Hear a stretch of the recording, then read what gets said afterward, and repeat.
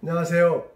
메나킹TV 네트워크 마케팅 나도 할 수 있을까로 활동하고 있는 메나테크 유병봉입니다. 저번 시간에는 봉급생활자, 자영업자 또는 전문직, 사업가, 투자가 이 사사분면에 대한 핵심 가치관에 대해서 알아보았습니다. 오늘은 네트워크 마케팅의 8가지 자산에 대해서 소개하겠습니다. 21세기형 비즈니스 저자 로버트 기요사키는 네트워크 마케팅 사업에 몸담았던 적이 한 번도 없다. 나는 네트워크 마케팅 회사의 판매자나 소유자 아니고 그 어떤 네트워크 마케팅 회사와도 금전적 이해 관계를 맺고 있지 않으며 특정 회사를 홍보할 생각도 없다. 하지만 나는 네트워크 마케팅을 지지하는 옹호자이자 대변인으로서 오랫동안 이 사업과 관계를 맺어왔으며 이번 장에서 그 이유를 알려주고자 한다. 이렇게 시작했네요. 그 전에 네트워크 마케팅의 핵심 가치는 무엇인지 또 네트워크 마케팅과 나의 삶과는 어떤 관계가 있는지도 살펴보겠습니다. 많은 사람들이 일단 네트워크 마케팅은 부정적이고 고정관념과 따가운 시선으로 바라봅니다. 그거 이 사람만 성공하는 거 아니야? 내 주변에 성공하는 사람 못 봤어. 그 다단계 하면 폐가망신하는 거야. 등 수많은 여러 가지 말들이 오갑니다. 하지만 부자들 이야기를 마음을 열고 한번 들어보시자고요. 간혹 승승장구해서 사업체가 성공하는 그런 경우를 보곤 합니다. 혼자만 성공하는 구조이죠. 하지만 네트워크 마케팅은 혼자만 부자가 되는 것이 아니라 다른 사람들도 부자가 되게끔 돕는 방법을 찾는다는 관점에 강하게 매료되었다. 개인적 성공으로 얻는 만족도 크지만 다른 많은 이들의 성공을 도와줄 때 훨씬 더 큰 만족을 느낄 수 있다는 사실을 깨달았다. 때때로 사람들은 내게 이렇게 묻는다. 당신 자신은 네트워크 마케팅을 부자가 된 게 아니면서 다른 사람들에게 부를 구축하는 방법으로 그것을 추천하는 이유가 무엇입니까? 나는 네트워크 마케팅으로 큰 돈을 벌지 않았다. 나는 외부인으로서 이 사업을 높이 평가하게 되었고 또 내가 이미 그를 구축하고 재정적 자유를 얻은 다음에 일어난 일이다. 만일 지금 모든 걸 처음부터 다시 시작해야 한다면 나는 구식 비즈니스를 구축하기보다는 네트워크 마케팅 사업을 출발점으로 삼는 편을 택할 것이다. 로버트 기요사키는 이렇게 말했네요. 그렇다면 네트워크 마케팅이란 무엇인가? 인터넷을 검색하면 이렇게 나옵니다.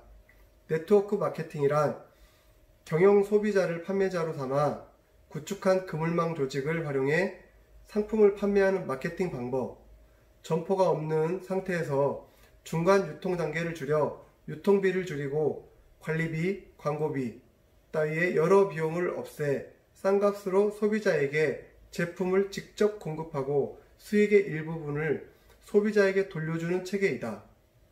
하지만 우리는 어느 네트워크 회사를 보면 점포를 내서 사업을 하는 경우를 간혹 보기도 합니다. 또 그래서인지 요즘 네트워크 마케팅에 대한 사람들 인식이 많이 바뀌고 있습니다.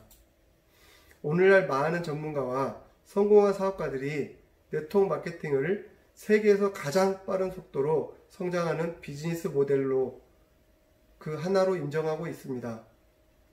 수입도 중요하지만 수입을 발생시키는 자산이 더 중요하다. 사람들이 월 평균 수입을 궁금해하는 이유는 이나 S사분면의 삶을 기준으로 생각하기 때문이다. 현재 속한 이 또는 S사분면의 수입을 보충하거나 대체할 무언가를 생각한다는 얘기다. 하지만 B와 I4분면은 더 많은 수입을 올리는데 집중하지 않는다. 그 대신 수입을 발생시키는 자산을 소유하는 데 집중한다. 여기서 이야기하는 자산 현금 흐름을 이해하고 넘어가 보시자고요. 1%만 아는 부자의 비밀을 알려드리겠습니다. 혹시 여러분은 자산, 부채, 재산을 명확하게 아시나요? 여기서 핵심은 자산은 매월 내 주머니에 돈을 넣어주지만 예로 들어 건물주 등을 말합니다. 자산은 팔았을 때만 돈이 됩니다. 땅이나 금부치 같은 것이겠죠. 부채는 내 주머니에서 돈을 꺼내는 것을 말합니다. 예로 지금 살고 있는 아파트 현금 주고 분양 받으셨나요? 보통 대출을 끼고 이자를 내고 계실 겁니다. 우스갯소리로 화장실만 내 집이라고 합니다. 이게 바로 자산과 재산, 부채의 차이입니다. 그렇다면 가난한 사람, 중산층, 부자들의 차이가 도대체 뭘까요? 가난한 사람은 돈을 벌자마자 다 나가버려요.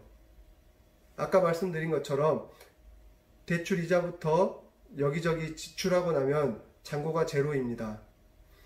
그리고 중산층은 높은 소득으로 여유가 있어 보이지만 그들의 문제점은 소득이 늘어나는 만큼 그대로 지출도 함께 늘어난다. 라는 점이 차이점이죠. 예로 좋은 차와 명품 옷, 부자들과 어울리기 위해서 여러 가지 지출들이 늘어납니다. 자산을 만들 만한 큰 돈을 모기가 현실적으로 힘들다는 거죠. 그에 반면 진짜 부자들은 다시 나한테 돈을 벌어다 주는 자산을 만드는데 집중을 하기 때문에 결국 돈을 벌기 위해 계속 일을 하지 않아도 되는 그런 시간적, 경제적 자유의 상태를 만든다는 거죠. 그럼 우리가 자산을 만들려면 결국 일을 해서 돈을 벌어야 하는데 수많은 직업이 있지만 결국 네 가지로 분류된다고 합니다. 그 네 가지는 월급 받는 직장인, 고소득 전문직이나 자영업자, 그리고 사업가, 투자가로 나뉩니다.